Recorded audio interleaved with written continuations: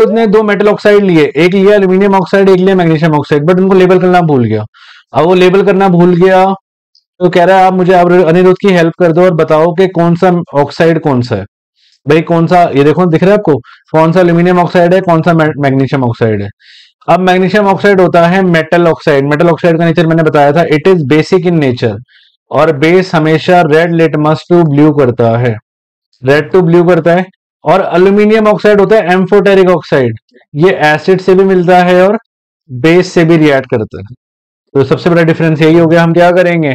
हम एसिड और बेस दोनों लेंगे, अगर वो दोनों से रिएक्ट कर गया तो क्या होगा वो क्या होगा? अल्यूमिनियम ऑक्साइड होगा, सिर्फ़ वो बेस से करा तो क्या होगा? मैग्नीशियम ऑक्साइड तो आंसर क्या होगा इसका? आंसर क्या होगा? Magnesium oxide is basic oxide which reacts with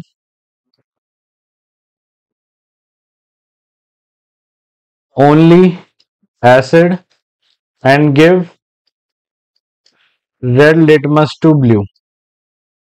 Red litmus को ब्लू में कन्वर्ट करेगा whereas aluminium oxide is amphoteric in nature amphoteric होने की वजह से it will react with both. It will react with both. किससे? एसिड से भी एंड बेस से भी। तो हमें पता लग गया? कौन सा मैग्नीशियम ऑक्साइड और कौन सा अल्यूमिनियम ऑक्साइड